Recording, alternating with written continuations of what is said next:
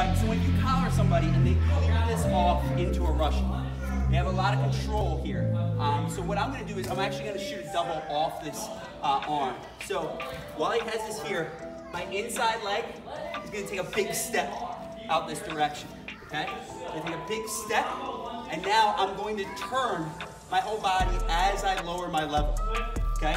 So I, I step forward, I'm gonna spin, and now I'm on my own double leg, here, he clears, I'm not gonna wait here forever, he's gonna take a big step, drop,